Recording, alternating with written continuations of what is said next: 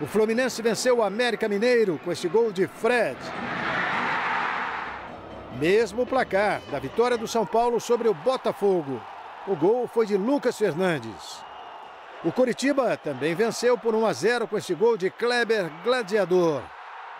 O equatoriano Cázares marcou o gol da vitória do Atlético Mineiro sobre o Santos.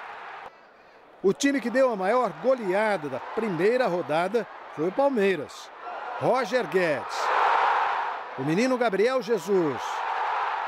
O zagueiro Thiago Martins. E Gabriel Jesus de novo marcaram contra o Atlético Paranaense.